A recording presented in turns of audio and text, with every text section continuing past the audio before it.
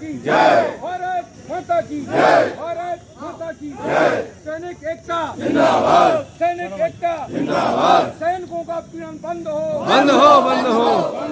सैनिकों का उत्पीड़न उत्पीड़न बंद हो। बंद हो बंद हो। सैनिक एकता। जिंदाबाद। भारत माता की जय।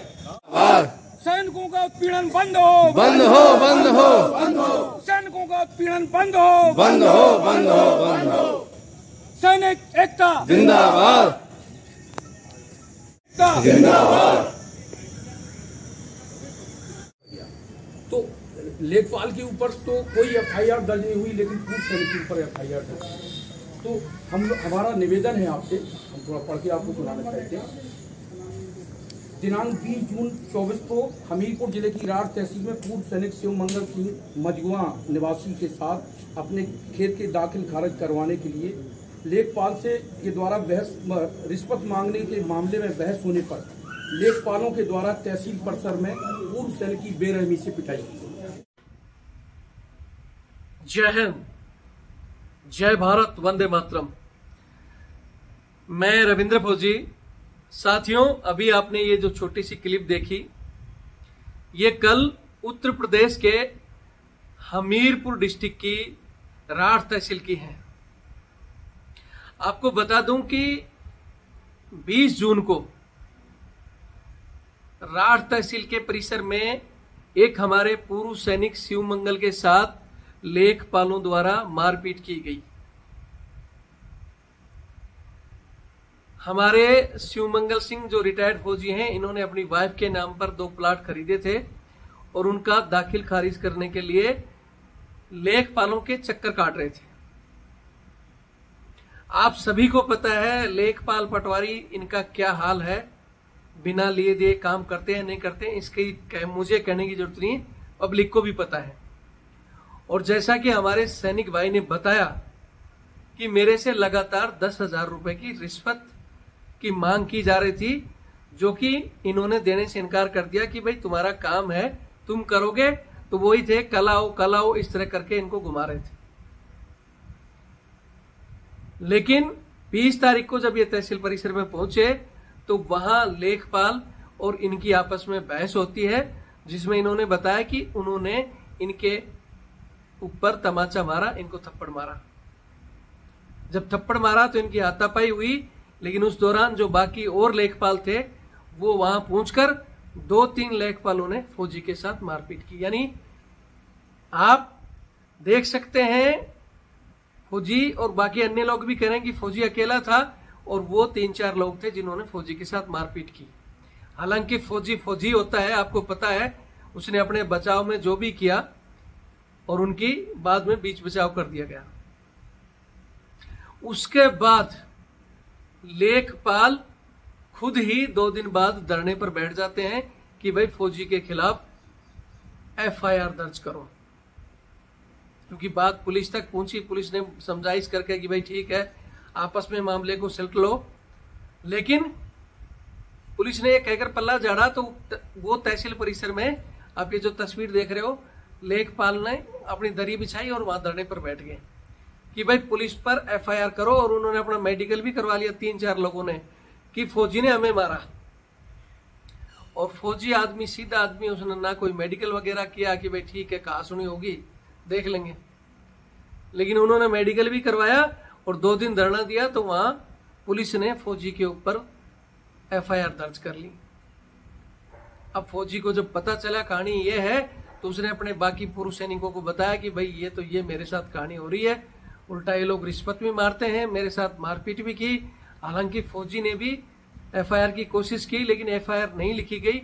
इसलिए कल पूर्व सैनिकों को वहाँ धरने पर बैठना पड़ा।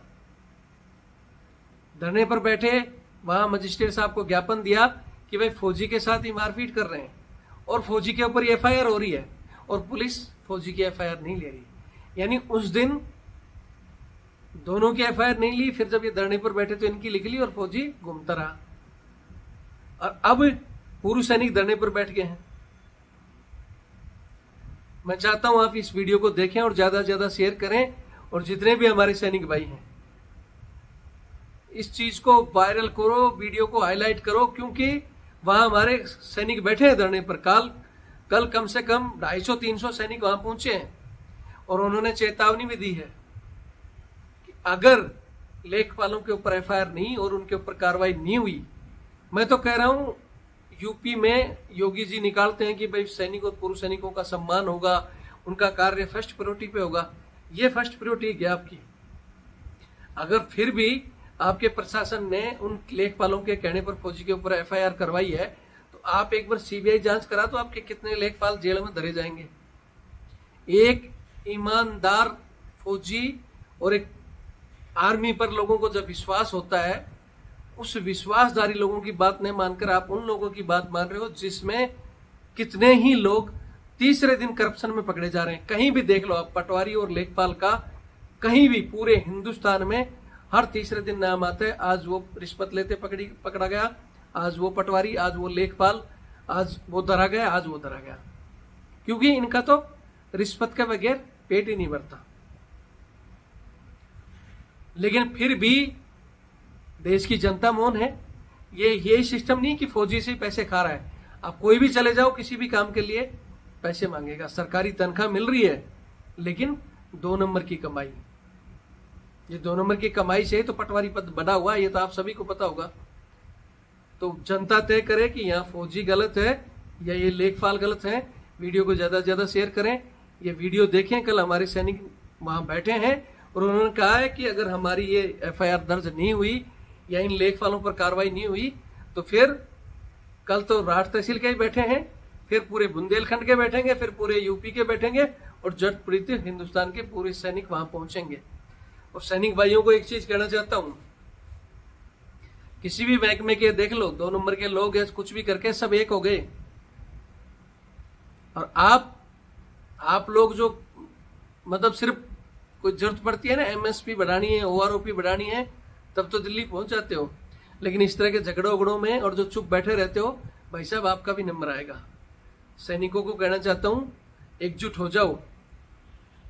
ओआरओपी एमएसपी डिसेबिलिटी जिसकी लड़ाई लड़ रहे हो, मैं हमेशा से एक ही चीज़ कहता हूँ कि पहली लड़ाई अपने सम्मान के लिए लड़ो, अपनी ताकत को पहचानो।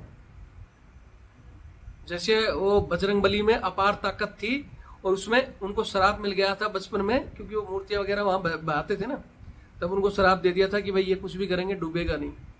तो उसी तरह आपके अंदर जो अपार ताकत थी, आपने बॉर्डरों पर जो ताकत दिखाई ऑन ड्यूटी रहते हो, ताकत दिखाई रिटायर होने के बाद जिस ताकत को भूल बैठे हो, उस ताकत को एक बार दिखाने की ज़रूरत है, एकता दिखाओ, और बीच बीच में आप भी अपना शक्ति प्रदर्शन ज़रूर करो। यहाँ कहीं भी किसी के साथ भी होता है, वकीलों के साथ हुआ वकील एक, और किसी संस्था के साथ हुआ वो सड़कों में आ जाते हैं, और आप और हम सिर्फ़ ओआरओपी के नाम पर ज़रूर एक होंगे, कुछ बढ़ रहा है तो।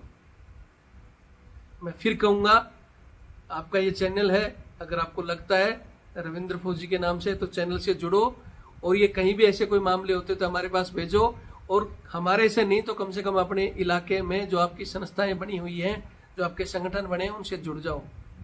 जब तो कोई आता है ना संगठन का, भाई संगठन से जुड़ो, फलाना जुड़ो, वो जुड़ो, तब तो बोलते हैं, मेरे को क्या लेना? मैं तो भाई अभी तो ऑन ड्यूटी हूँ फिर रिटायर्ड होकर मैं और दूसरी ड्यूटी चला गया, फिर मैं तीसरी ड्यूटी चला गया, ज़िंदगी भर ड्यूटियाँ ही करते रहते हो। और इस तरह की घटनाएँ होती हैं तो फिर दिक्कत आती है। दूसरी बात है कि आप संगठन बनाकर छोटे छोटे अपने लेवल में लड़ते रहते हो, जब तक ये हाईलाइट देश व्यापी नहीं होती, क्योंकि बाकी न्यूज़ मैंने कल भी बताया था, जैसे एक मामला हुआ था, बाकी न्यूज़ वहाँ तहसील परिसर में ये बैठे हैं, ऊपर तक इनका सिस्टम जाता है ये तो है नहीं कि वही खा रहे हैं। कोई भी अगर दो नंबर की चीज़ या रिश्वत होती है तो कहीं ना कहीं कड़ी से कड़ी उसमें भ्रष्टाचार ऊपर अधिकारी तक लिपत है और फिर वो अधिकारी उन्हीं का साथ देते हैं। और अधिकारी जो बताएगा वही न्यूज़ छापेगी बड़ी बड़ी न्यूज़ उन्हीं का साथ देगी। तो ये आपका खुद का चैनल है, चैनल को मज़बूत करो, जुड़कर रहो, कोई खबर आती है तो हमारे तक भेजो, ताकि हम उसको पूरे देश में हाईलाइट करें। जब पूरे देश में हाईलाइट होगी ना, तब आपके एफ़ भी लिखेंगे। तो लेखपाल के ऊपर तो कोई एफआईआर दर्ज नहीं हुई, लेकिन पूर्व सैनिक के ऊपर एफआईआर दर्ज। तो हम, हमारा निवेदन है आपसे, हम थोड़ा पढ़ के आपको सुनाना चाहते हैं। दिनांक 20 जून 24 को हमीरपुर ज़िले की रार तहसील में पूर्व सैनिक शिव मंगल सिंह मजगुआ निवासी के साथ अपने खेत के दाखिल खारिज करवाने के लिए लेखपाल से के द्वारा बहस रिश्वत मांगने के मामले में बहस होने पर लेखपालों के द्वारा तहसील परिसर में पूर्व सैनिक की बेरहमी से पिटाई। महोदय, हम सभी पूर्व सैनिकों ने अपनी जान की बाजी लगाकर, ईमानदारी और सच्चाई के धागों से बनी हुई वर्दी को पहनकर अपने देश की सेवा की। और कई हमारे साथियों ने अपने देश के लिए अपने प्राणों को भी निछावर किया है। लेकिन आज समाज में हमारी उपेक्षा की जा रही है और सैनिकों की ज़मीन पर कब्जे हो रहे हैं तथा उनके परिवारों का उत्पीड़न हो रहा है। जब हम लोग प्रशासनिक अधिकारियों के पास जाते हैं तो आश्वासन के अलावा कुछ भी हासिल नहीं होता। महोदय, हम लोग यहाँ पर आते रहते हैं। जिलाधिकारी महोदय की ऑफ़िस में पिछले हफ़्ते भी आए आते रहते नहीं कि आश्वासन मिलता है। हकीकत ग्राउंड पर नहीं महोदय, हम सब जिला जालौन बुंदेलखंड निवासी पूर्व सैनिक आपसे करबद्ध निवेदन करते हैं कि पीड़ित पूर्व सैनिक शिव मंगल सिंह की पिटाई करने वाले लेखपालों पर समुचित धाराओं में एफआईआर दर्ज कर दोषियों के प्रति कानूनी कार्रवाई की जाए तथा प्रदेश के सभी अधिकारियों को निर्देशित किया जाए, जिससे पूर्व सैनिकों पर हो रहे अत्याचार पर संज्ञान लिया लिया जा सके तथा देश की ईमानदारी से सेवा करने वाले पूर्व सैनिकों का आत्म सम्मान बरकरार बना रहे। यही हमारे निवेदन है साहब। इसलिए